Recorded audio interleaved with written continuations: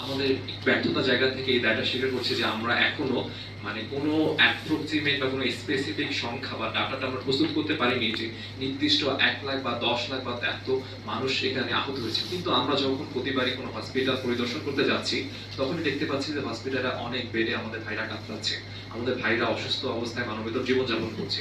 তো আমাদের কাছে সংখ্যাটা এখনও বলা যেতে যে আহ, এখনও স্পেসিফিক নয়।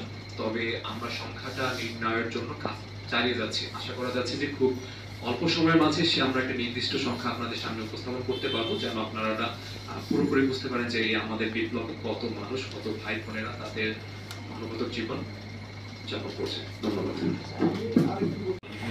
যদি না আপনাদের স্বতঃস্ফূর্ত অংশগ্রহণ থাকতো, তো আমরা দেখেছি আমরা যখন দেশে পুরো ক্র্যাকডাউন একটা অবস্থা চলছিল পুরো মিডিয়া একদমই কাজ করতে পারছিল না, পুরো মিডিয়াতে আমরা যা প্রচার করছি, সেই তথ্যগুলি, সেই ইনফরমেশনগুলি পুরোপুরি আসছে না।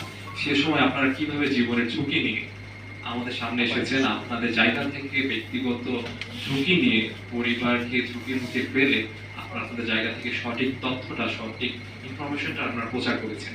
সেই জায়গা থেকে আমরা, আপনাদের আপনারাও যেসব ভাইরা বুলেটে বিগত হয়েছেন আবার বুলেট খেয়েছেন ট্রেনিং গ্যাস খেয়েছেন তো অনেক আপনারা ইতিমধ্যে জানেন যে হচ্ছে অনেক হসপিটালগুলি কিন্তু ফ্রি ট্রিটমেন্ট দিচ্ছে।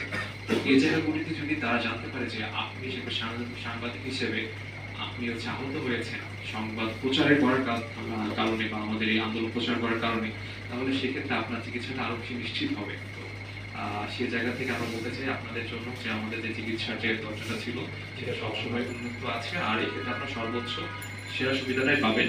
আপনি যে কোনো হসপিটালে এসে হচ্ছে আন্দোলনে আহত হিসেবে তেমন একজন ডাক্তার, তেমন একজন শ্রমিক বা তার তার কথাই বলুন না কেন আলাদা কোনো বিষয় না। আপনি একজন বৈষম্য ছাত্র আন্দোলনের একজন আহত হবেন, আপনার চিকিৎসা আমরা সেম বই দিয়ে দেখব, যেমনটা আমরা স্বীকৃতি বিভাগ করে দেখেছি।